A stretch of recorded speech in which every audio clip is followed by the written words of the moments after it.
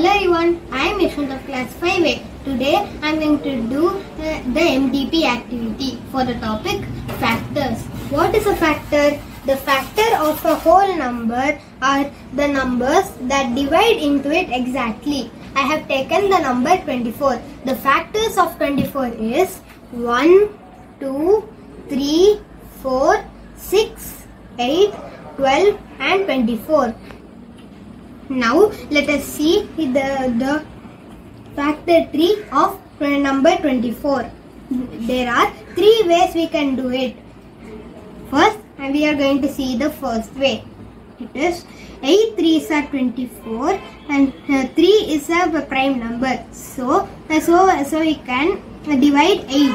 So, uh, 4 2s are 8. Then, uh, then uh, we can factorize 4. 2 2s are 4. So, uh, 2 is a prime number. So, we have to stop there. Now, I am going to see the second, the second way. 6 4s are 24. Both, uh, both 6 and 4 are not prime numbers. So, we, we can factorize them further. 3, uh, 3 2s are 6. 3 is a prime number and, and 2 is also a prime number. so, we have to stop there. 4 4 can be fa factorized. 2 2s are 4. So, that both the 2s are factor are prime numbers. So, we have to stop there. Now, we are going to see the third way. 12 2s are 24. 2 is a prime number. So, we have to stop there. But 12 is not a prime number. So, we can factorize 12 furtherly. 6 2s are 12. So, the 2 is a prime number but 6 is not. So, we have to factorize 6. 3 2s are 6. So, uh, both, uh, both 3 and 2 are prime numbers. Then we have to stop there. Almonds are my favorite nuts. Now I am going to explain factors using them. I have now I have taken 24 almonds. First we are going to divide these 24 almonds into 3 groups. So so 24 divided by 3 is equal to 8. So we have to put 8 almonds in each group. So 1, 2, 3, 4, 5, 6, 7, 8. Then uh, the first group is done. Now we have to do the second group. 2, 3, 4, 5, 6, 7, 8. The second group is also done. Now I am going to do the last group. 1, 2, 3, 4, 5, 6, 7, 8.